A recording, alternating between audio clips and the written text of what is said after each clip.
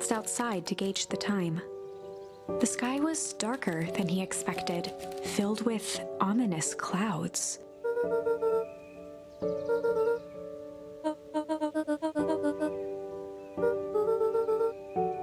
Luka wiped his mouth one last time with his napkin and started to get up.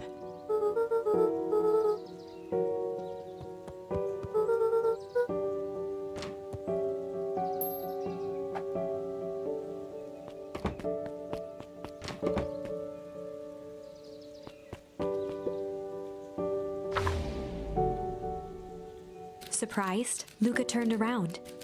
He knew Rolo could be prickly around new people. But Beck seemed cool. Rolo would warm up to her eventually. Probably.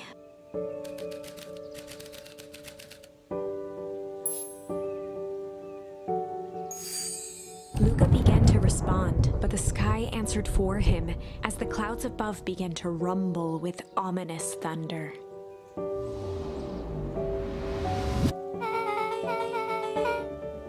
Surveyed the roiling clouds.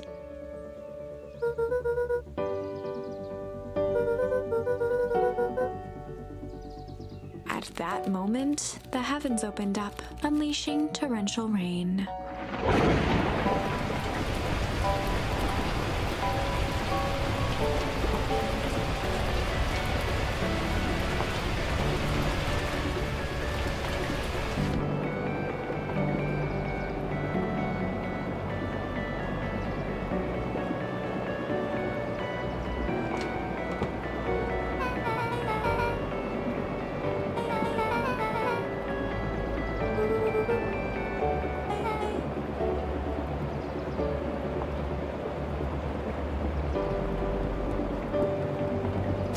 Squinted into the eye hole of the microscope.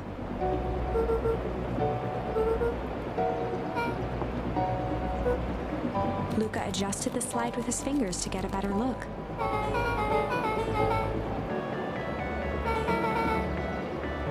Luka wiped his hand off on his sweater and gave a nervous laugh. Beck looked down, timidly tapping the ladder with her feet.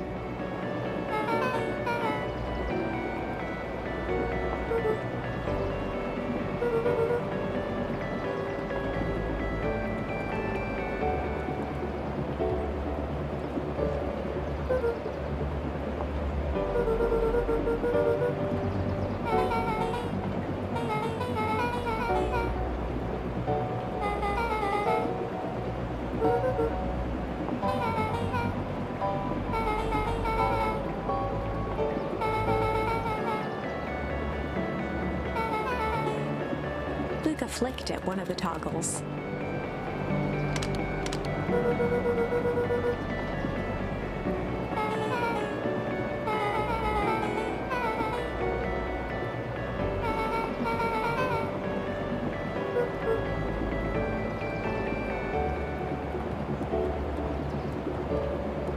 Luka bent down to examine the bouquet of wilting flowers.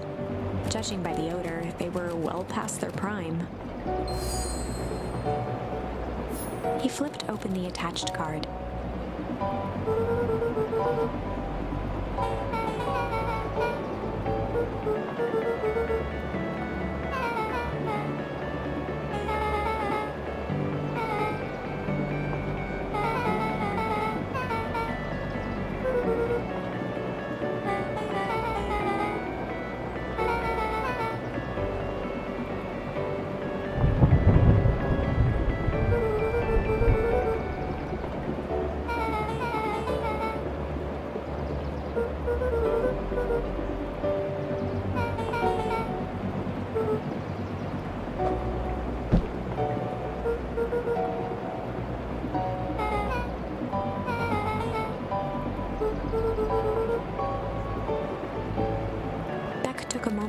Watched the rivulets of water running down the window.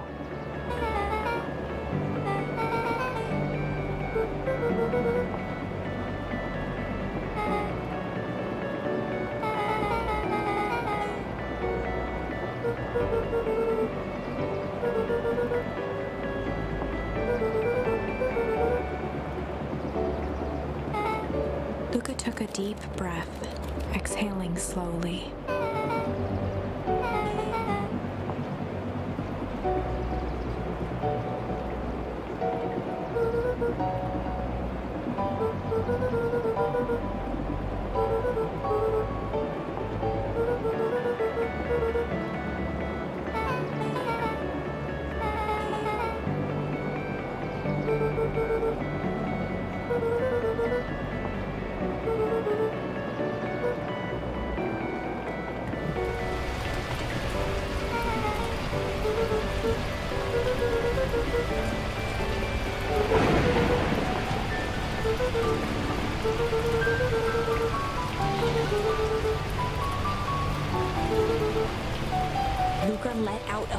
Scream that echoed into the night.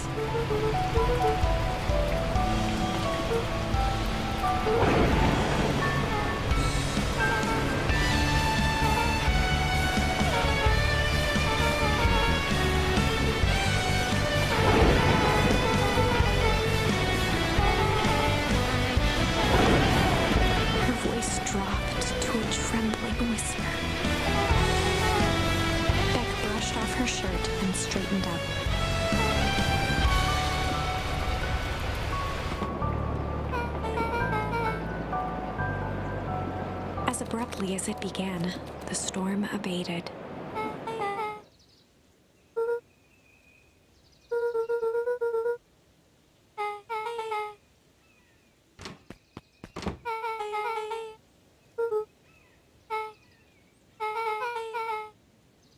Beck gave Luka a light thump on the arm before heading in. Chapter 5 Friendly Feud. The air was heavy with the hard rain's residue, the smell of wet things. Despite his dreary surroundings, Luka felt at peace. He'd never shared those details about his dad with anyone, not even Rolo. But it's not like this changed anything. Rolo was still his best friend. Adding Beck to the group would help balance things out. Everything's better in threes. This is what Luka told himself as he headed to the treehouse.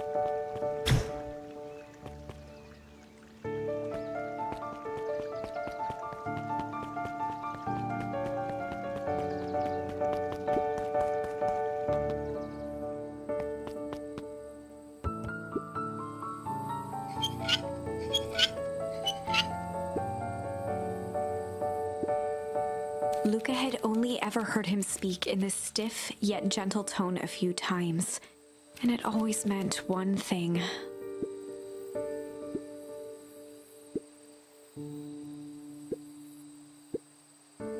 Rolo scoffed.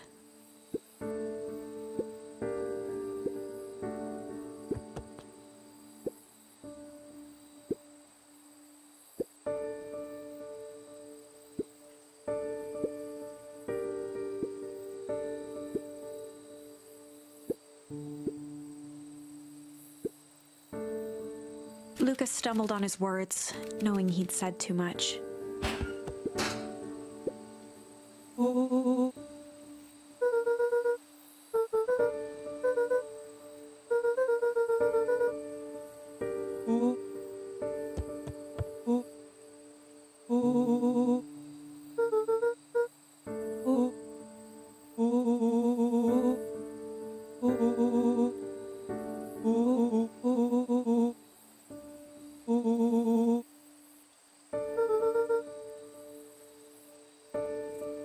Luka became instinctively angry in response.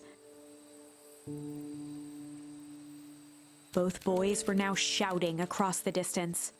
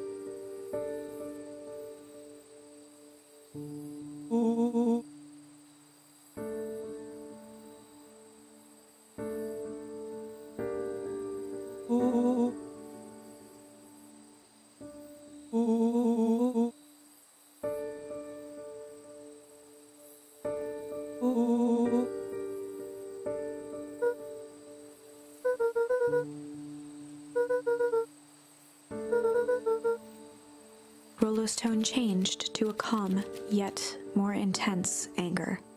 The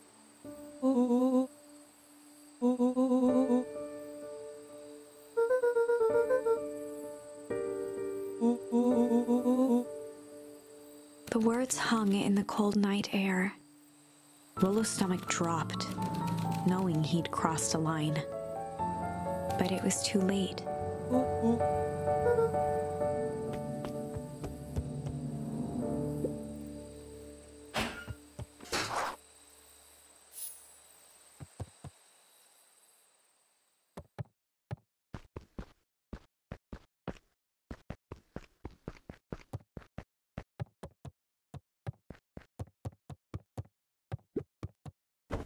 Luka dug through his old stuff, not even sure what he was looking for.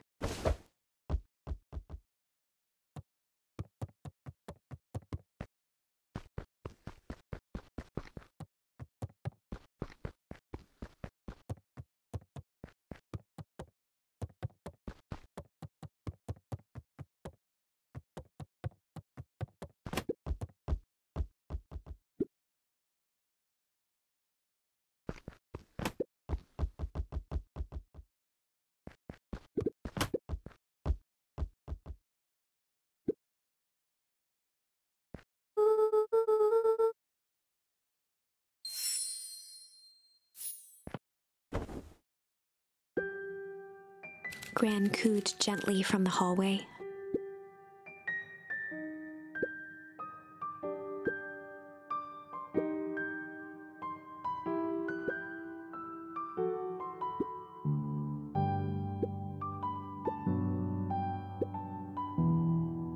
Luka just wanted to be alone. He waited to hear the sound of the front door closing.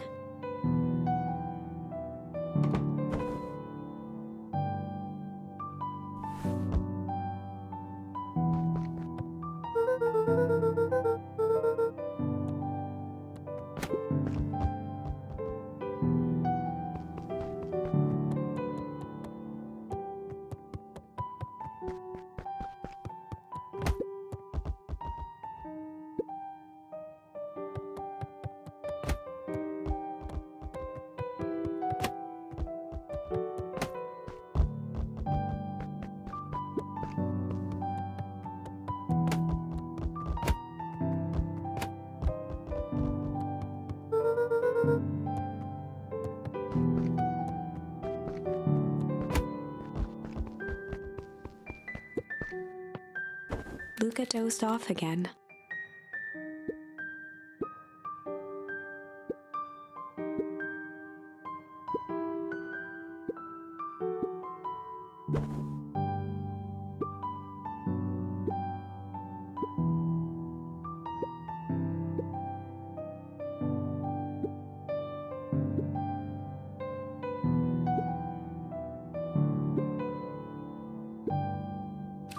Still couldn't bring himself to go out. Besides, if he ran into Rolo, he'd have to actually confront the situation.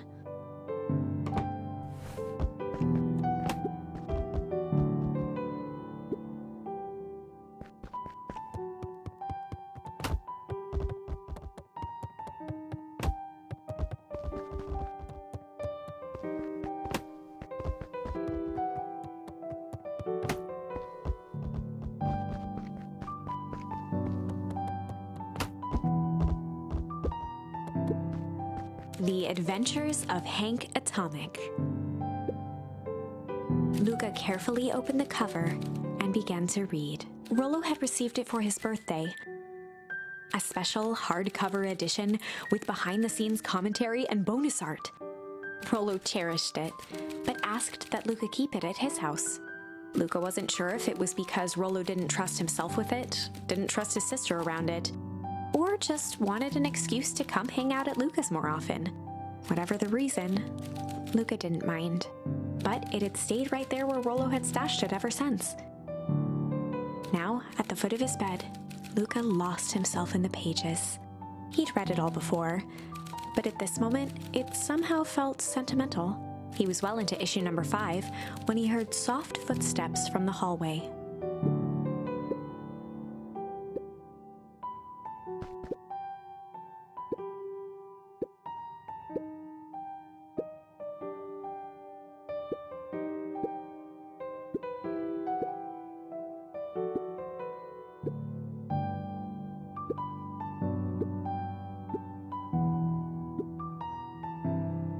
Without realizing it, Luka had pouted away the entire afternoon. He once again felt the weight of it all and allowed his weary eyes to close. Luka stood in a vast black expanse. He looked up at his father standing beside him. Walt was working a straw at the bottom of a fountain glass, trying to collect the last bits of milkshake. Dad, where are we? Taking a final loud gurgling sip, his father peered up from the glass. He jangled the straw playfully with a warm smile, then lifted the empty glass as if to point into the darkness. The source? Luka's eyes followed his father's gesture. In an instant, he was sitting in front of a blazing campfire. Across from him sat a large figure in a yellow hazmat suit. The figure's voice was a scratchy echo. Well, if it isn't the man of the hour, make yourself comfortable. Luka held his shivering hands over the flame to warm himself. It doesn't work that way here. Their yellow gloved hand pointed to the base of the flame. It's a cold flame. See? Luka peered at the base of the fire. It wasn't wood that was burning. It was Beacon Pines itself. Tiny buildings, freezing and crumbling as they were consumed by flame. Luka could see small shadows moving in the burning city. People. Luka leapt to his feet. We've got to help them! The figure gave a dismissive wave of their hand. Why waste energy helping people who can't even help themselves? The figure bent down to examine the panicked crowd as they desperately tried to stop the flames. They only care about what's right in front of them.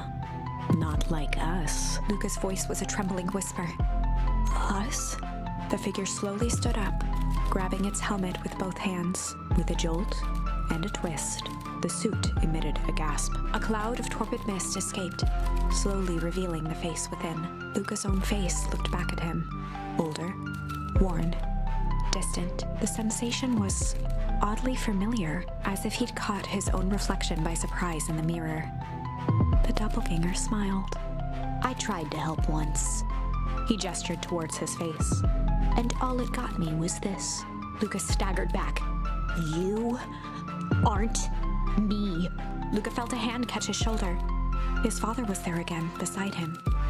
Every choice sets us on a path. This is the end of one of your paths, son. Luka watched his older self shake its head ruefully, its face twisting into a cruel grin. Well, Dad, if you wanted him to see this, far be it from me to disappoint. Luka watched in shock as the figure took a confident step forward plunged into the flames. In a flash of cold light, he was gone. What does all of this mean? Luka felt a reassuring squeeze on his shoulder. Just remember, why we choose matters just as much as what we choose. Luka woke up to see a hazy figure at the foot of his bed, silhouetted in the morning sun. Luka rubbed his eyes. The kind, concerned face of his gran came into focus.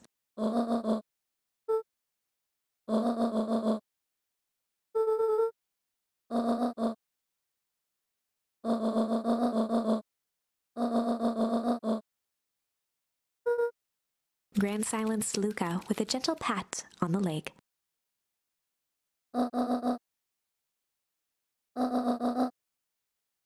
哦哦哦哦哦哦哦哦哦哦哦哦